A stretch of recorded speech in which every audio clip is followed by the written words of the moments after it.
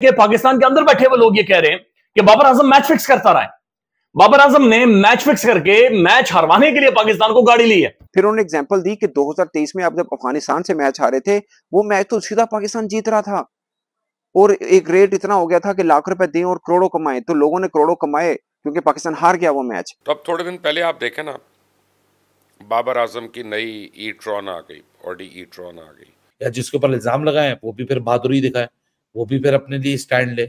वो भी फिर यहाँ बोले कि जी मेरे साथ यहाँ गलत हो रहा है कि अगर ये इल्ज़ाम में इतना सीरियस और इतना शॉकिंग इल्ज़ाम मेरे ऊपर लगाया जा रहा है तो फिर मैं भी स्टैंड लू। ऐसे लोगों को हीरोज मान मान जाते हैं या ऐसे लोगों को हीरो समझना शुरू कर देते हैं। मेरे ख्याल में शायद मिनासर कौम हमें बिजली के करंट की ज़रूरत है ताकि हम हम कम अज कम क्लियर देख सकें हमें समझ आ सके कि चीज़ें किस तरफ़ जा रही हैं। कि हमारी जो क्रिटिज्म थी वो बिल्कुल दुरुस्ती बाबर आज़म के ऊपर।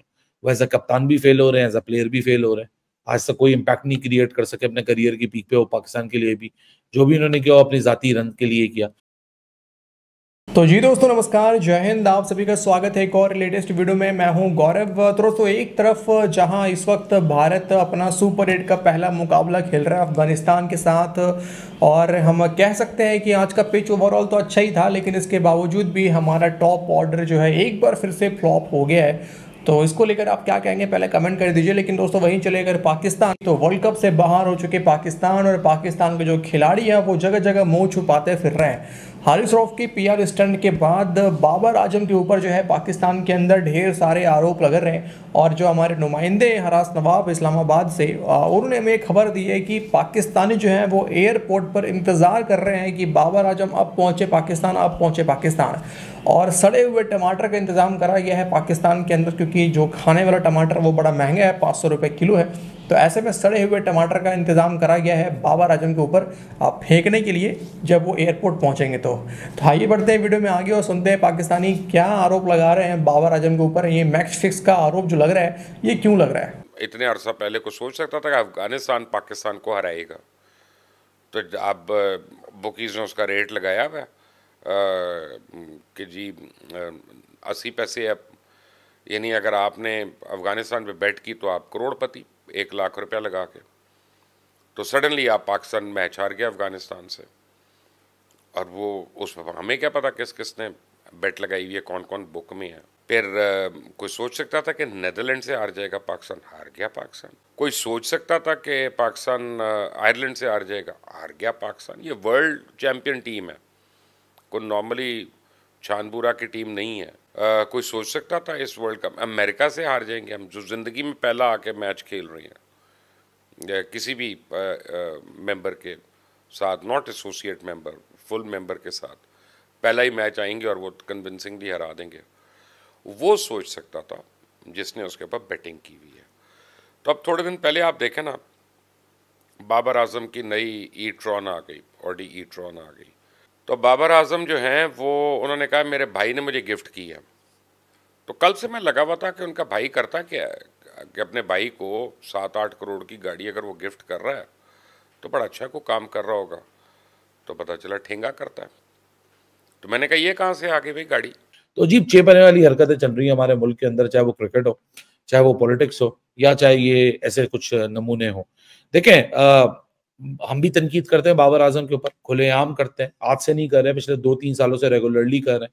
और फॉर्चुनेटली अनफॉर्चुनेटली जो जो बातें बाबर आज़म के ऊपर हमने की हैं, वो शायद वक्त ने साबित कर दी कि हमारी जो क्रिटिज्म थी, वो बिल्कुल दुरुस्ती बाबर आज़म के ऊपर। वो एज अ कप्तान भी फेल हो रहे हैं एज अ प्लेयर भी फेल हो रहे हैं। आज तक कोई इम्पैक्ट नहीं क्रिएट कर सके अपने करियर की पीक पे, वो पाकिस्तान के लिए भी। जो भी उन्होंने किया अपनी जाती रन के लिए किया। आप अमेरिका से मैच हारेंगे तो गाड़ियाँ नहीं आएँगी। आप अफ़गानिस्तान से मैच हारेंगे नेदरलैंड से हारेंगे, आयरलैंड से हारेंगे तो आपके डीएचए में घर नहीं आएँगे। आपके ऑस्ट्रेलिया में प्लॉट नहीं आएँगे, आपके दुबई में अपार्टमेंट नहीं आएँगे तो और कहाँ, किसके आएँगे? सबको पता है कि पाकिस्तान टीम में कौन कौन बुकी है कौन कौन बुकियों का बनता है और किस तरह साया कॉरपोरेशन ने इन सारों को यूज़ किया बोर्ड को ब्लैकमेल करने के लिए, बोर्ड के घुटने टेक दिए। बोर्ड के कैसे घुटने टेके? कि पिछला वर्ल्ड कप हो रहा था इंडिया में, आठ प्लेयर्स ने कह दिया, हमने तो करना ही नहीं। और बाकी जो प्लेयर्स थे उनको इन्होंने कहा कि हम जो स्टैंड ले रहे हैं, तुम तो हमारे साथ रहना, तुम्हारी भी पे बढ़ेगी। सबने अपने कॉन्ट्रैक्ट करा लिए, पचास लाख, साठ लाख, फिर एंडोर्समेंट्स और फिर गेट मनी और फिर शेयर मनी और स्पॉन्सर मनी और ये वो करा लिया।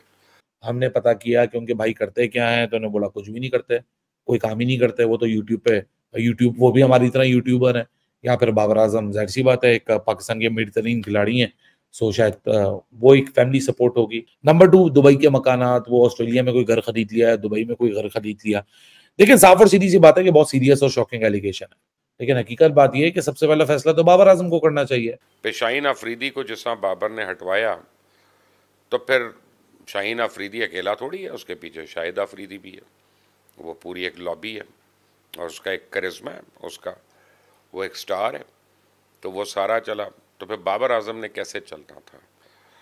शाहीन अफरीदी जो था, अब इसकी इंजरी के बाद कम बैक में इसकी परफॉर्मेंस बड़ी कॉम्प्लिकेटेड थी। इससे परफॉर्म नहीं हो रहा था, गेंद सही नहीं हो रही थी। तो फौरी तौर पे इन्होंने कहा कि जी, मोहम्मद आमिर को ले आओ, इमाद को ले आओ।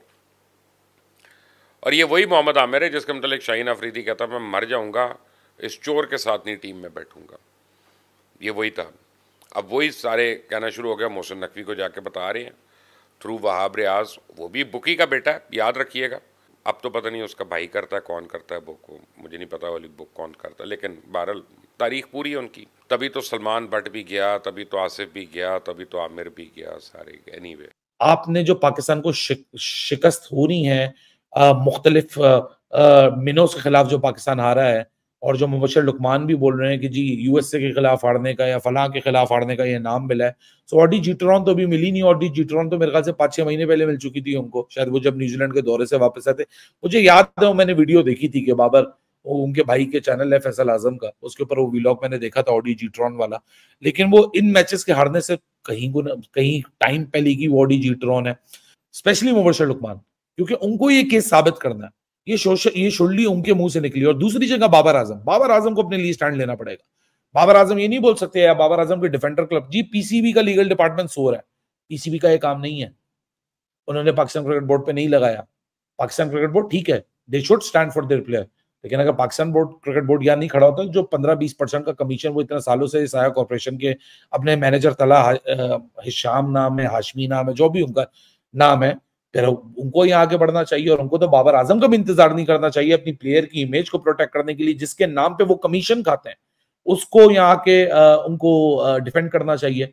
या तो ना पाकिस्तान क्रिकेट बोर्ड कुछ करे, या ना तला साहब कुछ करें तो फिर बाबर आज़म को खुद अपने लिए स्टैंड लेना चाहिए, जहाँ एक वकील कर ले। कोई वकील इतना महँगा नहीं आता और बाबर आज़म का नाम है इस केस के साथ तो बाबर आज़म की वो अपनी प्रमोशन के चक्कर में फ्री में भी बाबर आज़म का केस यहाँ आकर लड़ लेगा।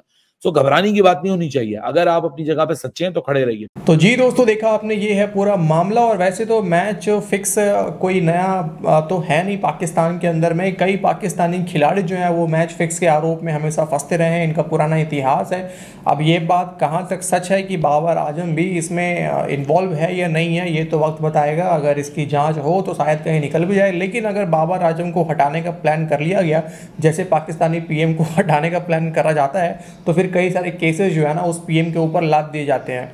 पाकिस्तानी फ़ौज की तरफ़ से। तो इसी तरह से अगर बाबर आज़म को हटाने का प्लान हो जाए टीम से तो फिर बाबर आज़म के ऊपर आरोप लग भी जाएगा और आरोप जो है सही साबित हो भी जाएगा। तो ये तो खैर दोस्तों, देखते हैं आने वाले समय में क्या होता है। और बाबर आज़म जब पाकिस्तान पहुँचता है तो पाकिस्तानियों को रिस्पॉन्स क्या रहता है, ये भी देख मज़ा आएगा। लेकिन फ़िलहाल आज के इस वीडियो में इतने ही। आज के मैच के बारे में जो कि चल रहा है, इस वक्त अफ़गानिस्तान और भारत के बीच में क्या कहेंगे आप कमेंट करके ज़रूर से बताइए। वीडियो को अंत तक देखते रहने के लिए आप सभी का बहुत बहुत धन्यवाद। अपना ख्याल रखें। मिलते हैं आपसे अगले वीडियो में। जय हिंद।